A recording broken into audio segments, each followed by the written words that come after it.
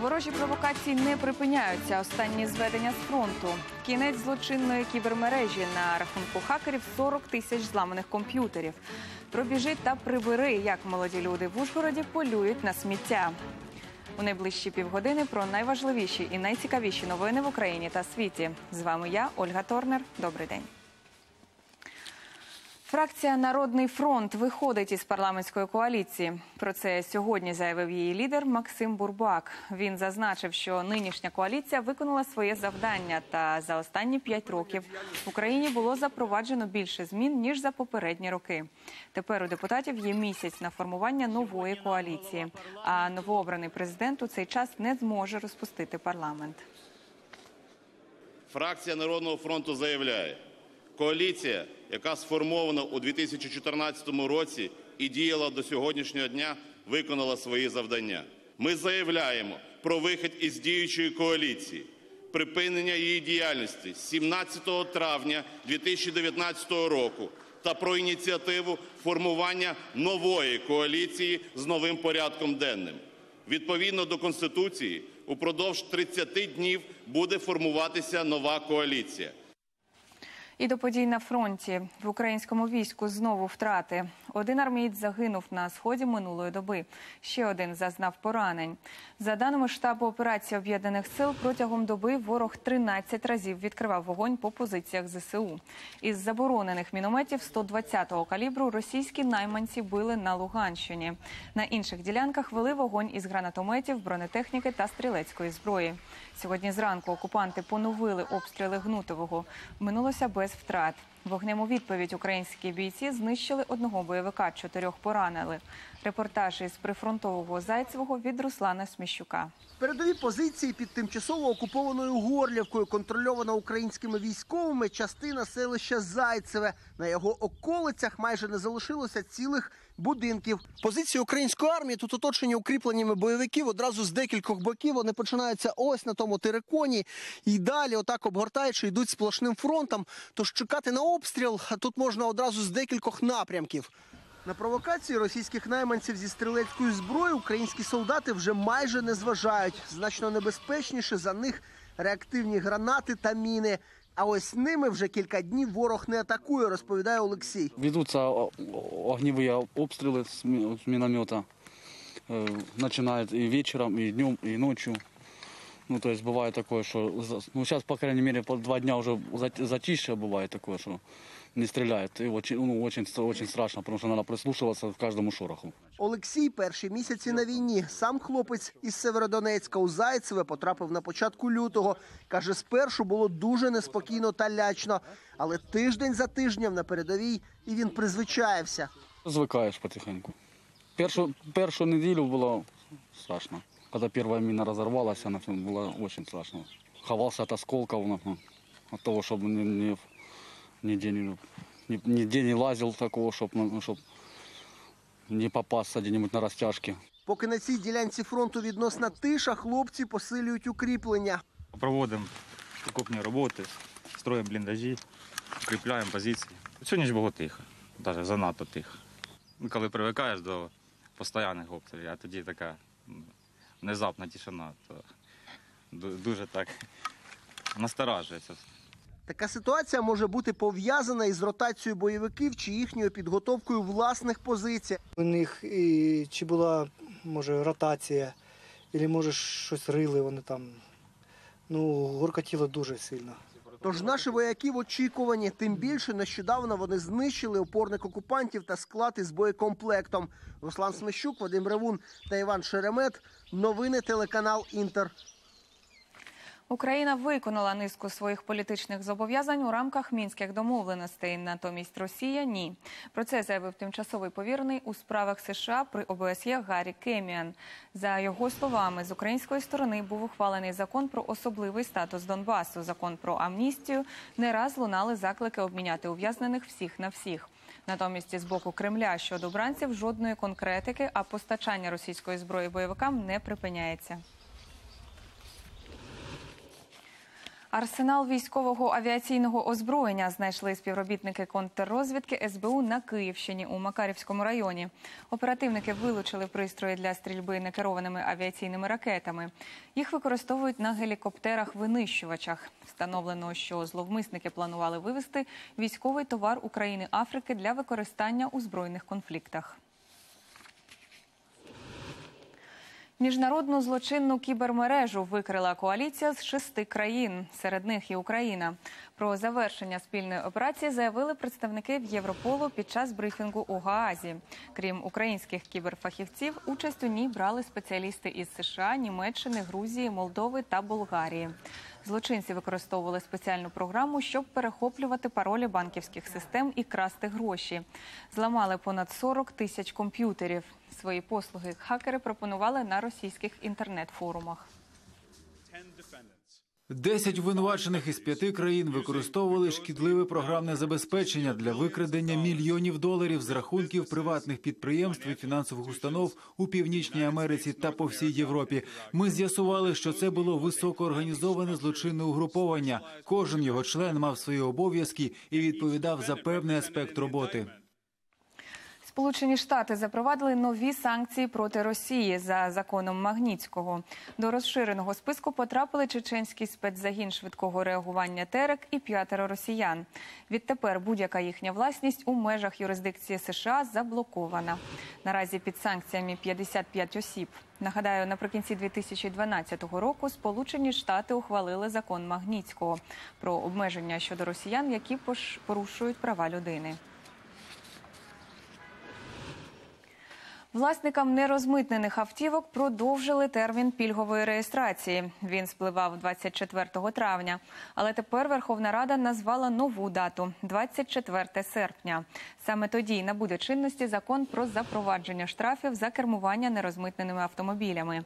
У парламентському комітеті з питань податкової політики сподіваються, що це дасть змогу належно оформити та легалізувати ще певну кількість авто. Град та ураган над Житомирщиною у Новоград-Волинському та Ємільчинському районах вісім житлових будинків повністю лишилися без дахів і ще понад 60 частково. Без світла більше 70 населених пунктів. У школі села Березинка з покрівлі зірвало два десятки листів шиферу. На щастя, ніхто не постраждав. Потужний вітер також викорчував дерева й обірвав електродроти. Злива затопила вулиці та селянське подвір'я. Град розміром із куряче яйце побив городину та сади. А у селі Пилиповичі навіть зафільмували торнадо. Загалом негода охопила майже увесь північний захід України, Рівненщину, Житомирщину та Волинь. Там ймовірні короткочасні зливи, грози та град.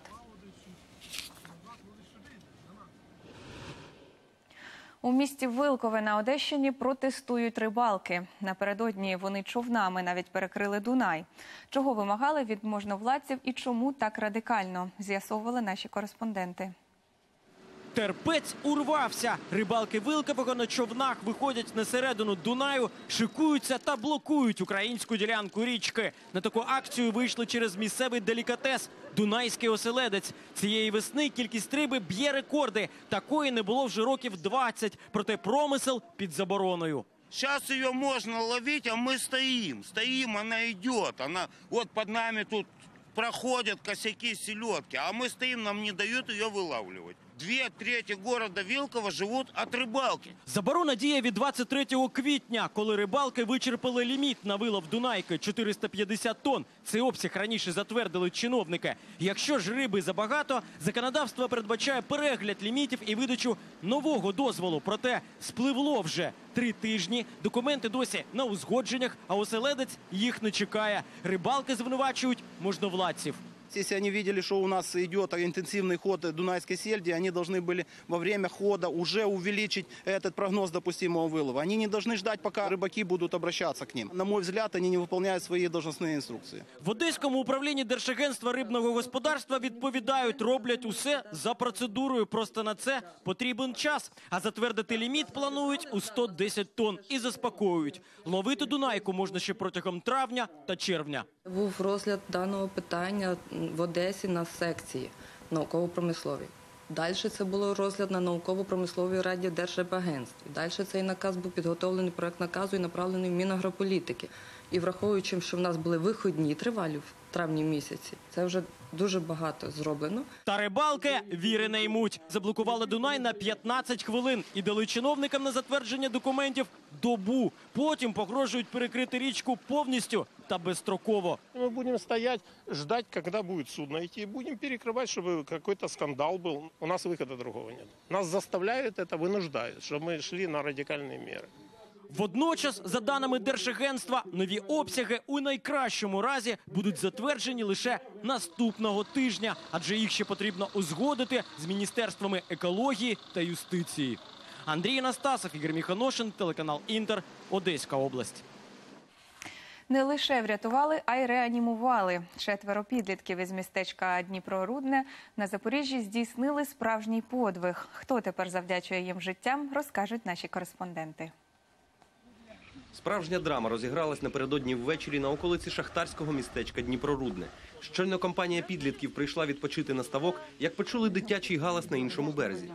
Они начали кричать «помогите», и там из воды руки этого... Ну и Кирилл прыгнул первый, и там уже все мы прыгнули.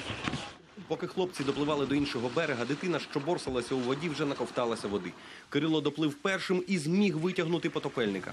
Я растерялся, ну, потом приплыл Вадим и сделал ему непрямой массаж сердца. Майже три хвилини, кажуть підлітки, вони намагались реанімувати дев'ятирічного хлопчика. Смотрю на пульс э, на шее, не- ну, сердце остановилось. Я де- начинаю делать непрямой массаж сердца, и потихоньку сердце начинает заводиться. И он нач- э, ну, начинает дышать, и мы его перевернули на живот, чтобы вода вся с него выходила. Поки одні рятували, інші викликали швидку. Мы поняли, что скоро не подъедет, вот прям сюда, вот э, не заедет она здесь, здесь нет заезда. Мы понесли его к гаражам, туда хотели к охраннику вынести. Э, Несли его на руках, держали, разговаривали с ним, чтобы он ну, не заснул просто-напросто. Думали, он умрет. Э, Поддерживали с ним беседу. Та коли приїхала швидка, залишилось тільки подякувати хлопцям. Молодец. Так держать. Спасибо. Решаете нас работы. Ну, молодцы. Лікарі кажуть, якби не дії підлітків, вони Микиту б не врятували. С учетом м, окружающей температуры среды и время доезда 6 минут, это уже была б биологическая смерть. Если до 5 минут считается клиническая смерть, когда еще без последствий можно реанимировать человека. Та все ж таки медики залишили Микиту в лікарні. А вже на ранок хлопець був вдома. Виявляється, його зіштовхнули в ставок однолітки. Такі дитячі пустощі ледве не коштували Микиті життя. Проте і сам він дістав на горіхи, кажуть батьки, за те, що пішли до ставка. Я чувствую, что все-таки где-то есть и наша вина, потому что мы где-то упустили момент, когда вот э, позволили им э, немножечко непослушания такого быть самостоятельными. Після цього випадку компанія юних рятувальників прославилась на все Дніпрорудне. Хлопців вважають справжніми героями, а в навчальних закладах їх обіцяють відзначити. Андрій Кравець, Сергій Бордюжа, Ігор Воробій. Новини телеканал Інтер. Запорізька область.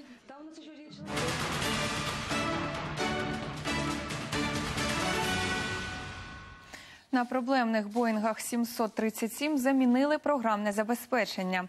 Наступного тижня корпорація планує скликати у Техасі конференцію за участі представників країн, що експлуатують ці літаки, і надати їм інформацію про оновлення. За останніх півроку авіалайнери цієї модифікації двічі потрапляли у катастрофи зі значними людськими жертвами в Індонезії та Ефіопії.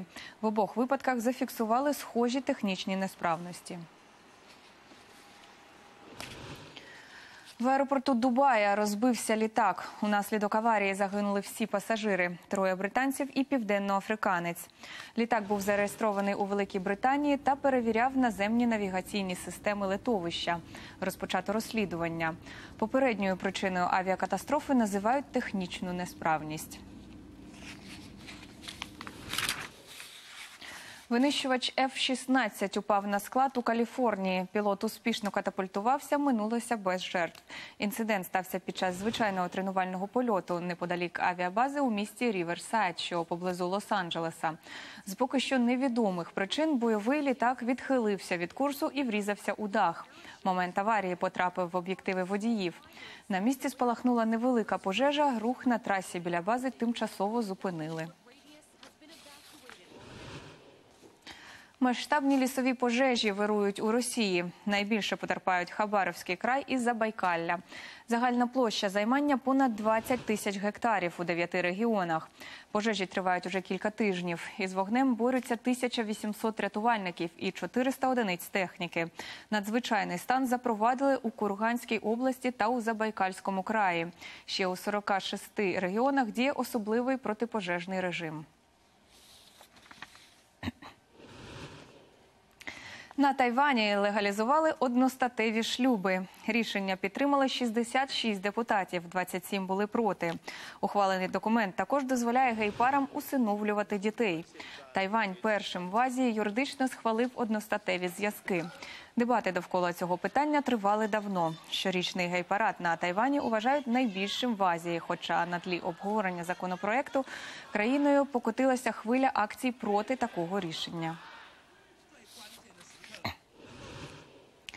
Лікування без побічних ефектів і до того ж цілком безкоштовне. Щоби зняти стрес, американці все частіше вдаються до лісотерапії. Як правильно це робити і чим така практика корисна? Дізнаємося з нашого сюжету.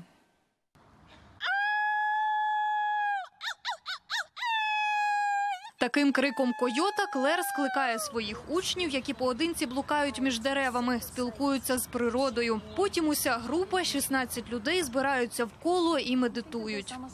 Ми тут, тому що часто віддаляємося від природи, а насправді ми завжди залишаємося її частиною. До лісу на околиці Вашингтона приходять кожен зі своїми проблемами. У моєму житті не вистачає кольору. Я весь час сиджу вдома, мало куди виходжу. Для мене цей день вже подія. Тут під зеленим шатром діляться найсокровеннішим і вчаться помічати те, що відбувається довкола. Якось ми сиділи на нашому місці, і мені на вухо ніби хтось прошепотів. Чому ти боїшся зупинитися? Просто спинись. І тоді я зрозуміла, що кидаюся від однієї справи до іншої, і так без перестанку. У мене сльози навернулися на очі. Щось є в цьому лісі. Я просто намагаюся відкритися йому. Основне під час сеансів лісотерапії зосереджуватись не на своїх проблемах, а на звуках, запахах, природі довкола.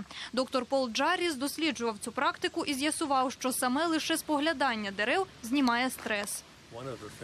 Під час таких прогулянок кров починає краще надходити у мозок і циркулювати. А ще люди розслабляються і не так зосереджуються на своїх негараздах. Такий ефект залишається і поза лісом. Лісотерапія японський винахід. Україні в ранішнього сонця цей метод з'явився у 80-х роках. А нині він стає все популярнішим у США. Лікарі частіше прописують пацієнтам прогулянки на природі. Попри те, що наука ще не все знає про складну систему лісу, доведено, така терапія покращує імунітет, а також збільшує у крові кількість клітин, здатних боротися з раком. Анна Філь, новини, телеканал Інтер. Пробіжи та прибери. Рух плогінг виник у Швеції та швидко поширився світом. Долучилися до нього і в Україні. Полювати на сміття побігли молоді люди в Ужгороді. Корисний і для довкілля, і для здоров'я захід улаштували в парку біля найбільшого міського озера. Чи багато непотребу зібрали? Дивіться далі. Діли рукавички, пакет зуби побігли. Фізична форма плюс чисте довкілля. Така мета плогінгу. Започаткували його рік тому у Швеції. Ідею підхопили в Ужгороді. Акція стартувала на озері Кирпічка. Повний мішок сміття Катерина назбирала, пробігши лише одне коло. Перше коло сміття. Я назбирала бл- близько 5-6 кілограм сміття. Це люди залишили після після пікніка. Е, от. Так бігати намного корисніше, тому що спалюється більше калорій. Ладно, я побігла далі. Поки Катя знову готується до старту, Михайло розчищає сміття у чагарниках. Тут цілий склад скляних пляшок. Це не єдине е, е, місце звалище для, для пляшок. Тут є кілька таких. Е, одне з них я майже вичистив, але не вдалося, бо дуже дуже багато було. Владислав рибалить на озері чи не щодня. Каже, молодих людей бачить тут не вперше і акцію підтримує, адже нині у парку можна відпочивати не серед сміття. Сегодня прибирали. Видел ребята. Еще где-то недельку или полторы так назад тоже они убирали, молодцы. копались старательно. Сейчас стало чище, я заметил, люди стали после себя убирать.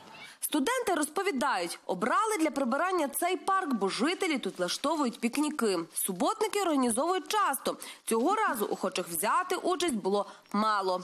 Та на цьому запевняють, не зупиняться. Не збираємося припиняти акцію ні в якому разі, тільки продовжувати, тільки вперед.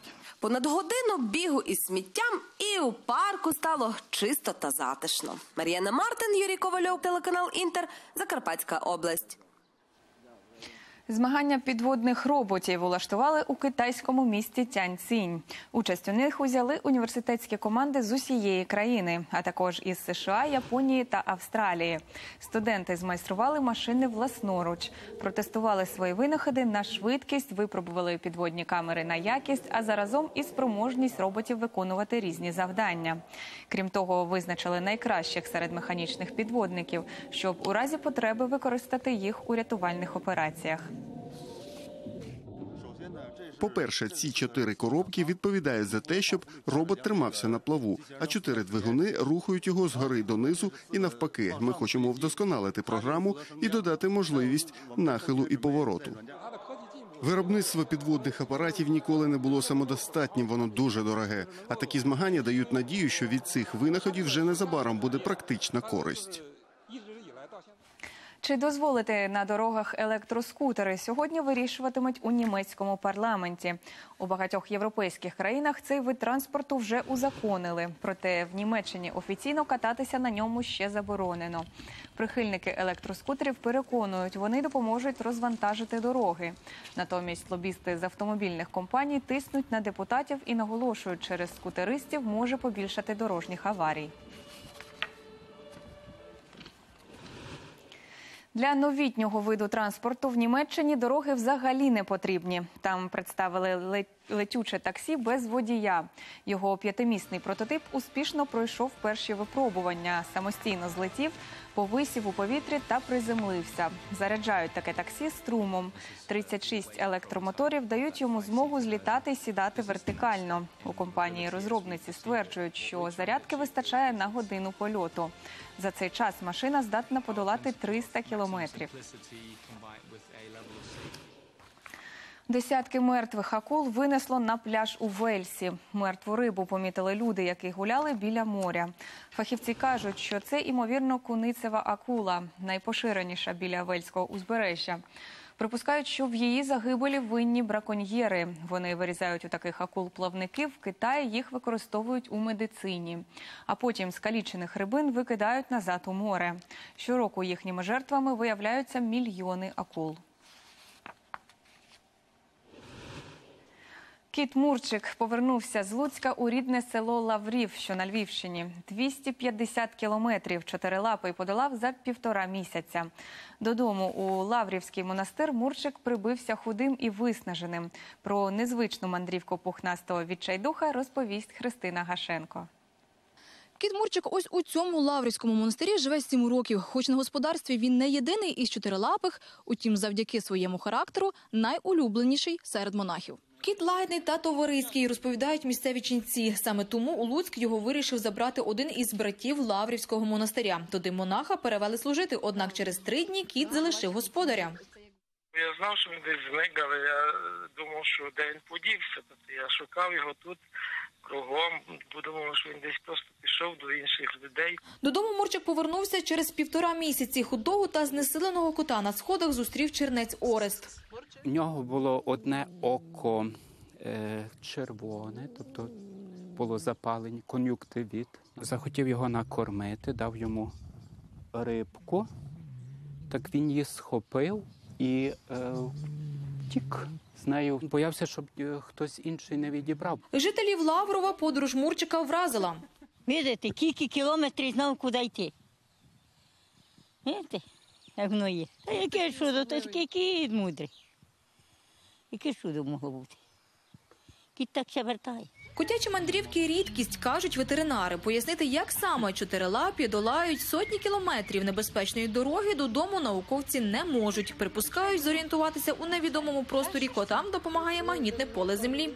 Это псевдонаучный факт. Немножко иронии, потому что не доказано, как они могут ориентироваться. Ченці після таких мандрів перевозити Мурчика де-інде не будуть. Він залишиться господарювати у Лаврівському монастирі.